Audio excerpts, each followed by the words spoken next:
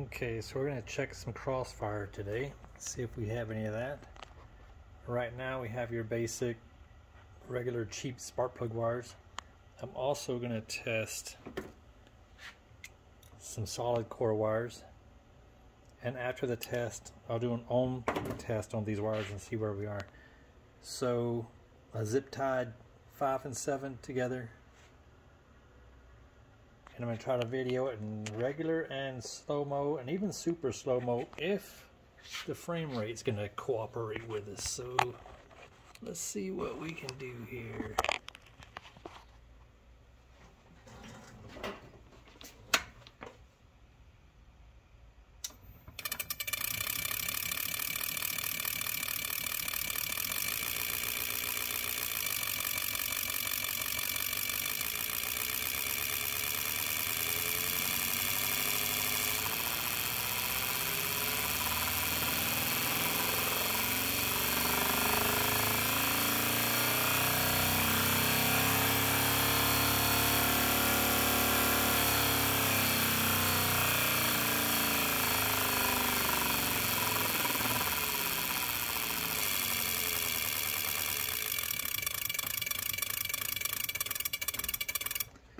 Okay, I'm gonna try the slow motion. I'm not sure if this is gonna work.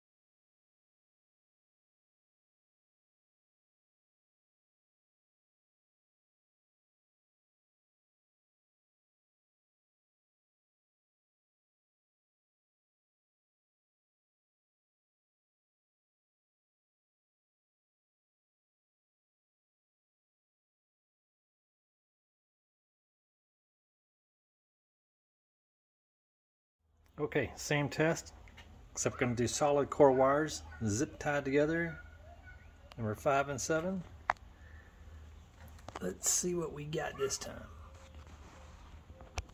And again, I'm going to try to do this in regular slow-mo and super slow-mo. We'll see how that goes.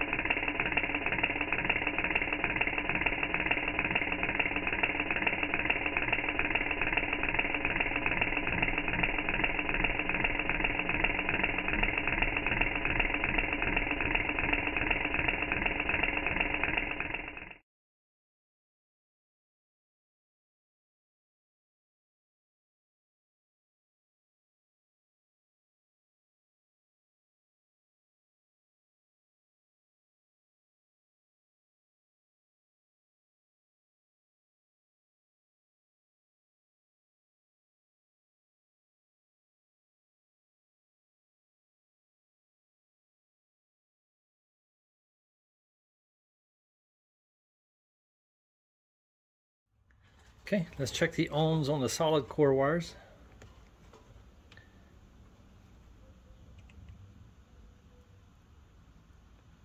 Point three.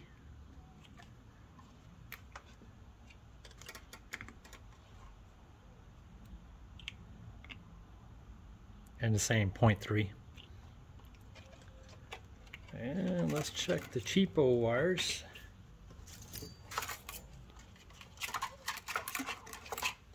These are probably at least 25 or 30 years old.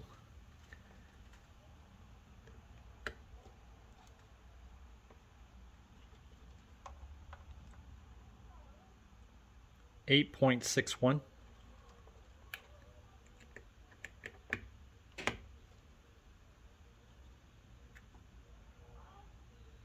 Ten point nine one. So I just wanted to show what system I'm using now and what I have planned down the road. Right now we're just doing the 7AL2, the Crane LX92 coil. I also have an old school ProMaster 29440. I already tested that and you'd be surprised at the difference of spark output from the ProMaster to the Crane. I'll go over that when we do that test. I also have an old school Holley annihilator system with its own coil. I also have a very old school Mallory Hi-Fire. I don't even know if that works. We'll find out. And I have the old standard Accel super coil. I also have multiple other, I have MSD HEIs and stock HEIs. So we're going to try all that over the course of the next, I don't know, a few weeks or a few months. Depends on how soon I can get out in the garage again. But there's that test, and let's see what you think about it.